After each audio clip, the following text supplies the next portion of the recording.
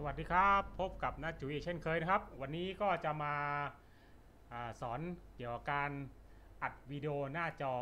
โดยไม่ต้องลงโปรแกรมเพิ่มนะครับสำหรับ Windows 10 แต่ตัวนี้มันไม่ได้อัดทุกหน้าการทำงานหน้าจอนะครับ มันจะอัดเวลาที่เราเข้าเว็บไซต์ได้นะครับที่เราจะทำคลิปสอนเกี่ยวกับเว็บไซต์อะไรต่างๆเนี่ยแล้วก็เข้ามาเวลาเรียกใช้งานนะครับ ให้เลือก Win G นะครับปุ๊บเข้ามามันก็จะมี ต่างไอคอนขึ้นมาอย่างนี้นะครับให้เห็นนะครับ ก็จะมีทั้ง screenshot ได้นะครับ แล้วก็มีอัด แล้วก็มีเปิดไมค์ปิดไมค์อะไรนะครับแล้วก็กดตรงนี้นะครับก็มี Win Alternate M นะครับเรื่องไมค์ครับ แต่ละเวลา record ก็ Win Alternate R ก็ได้นะครับ ถ้าเราไม่ต้องมาเรียกเมนูนี้ได้เราสามารถเรียก shortcut สั้น ๆ ได้ตามนี้นะครับ กดเข้าไปหนึ่งครั้งปั๊บ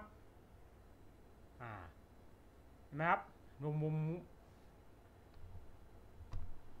ครับ จะอยู่ในมุมขวานะครับอันนี้ผมอัดหน้าจออยู่มันก็เลยขึ้นมาด้วยนะครับ ซ้อนกันนิดนึง มันก็จะขึ้นมาที่มุมขวาอย่างนี้นะครับ ก็คือก็มีการอัดอยู่อัดมันก็อัดไปเรื่อยๆครับ เราก็ทำอะไรก็ทำไปแล้วครับ เราก็จะสอนการใช้งานเกี่ยวเว็บไซต์บางทีจะบอกสอนเพื่อนเนี่ยก็ง่ายครับอัดไปปุ๊บพอเราเสร็จแล้วเราก็กด stop ปั๊บเข้ามา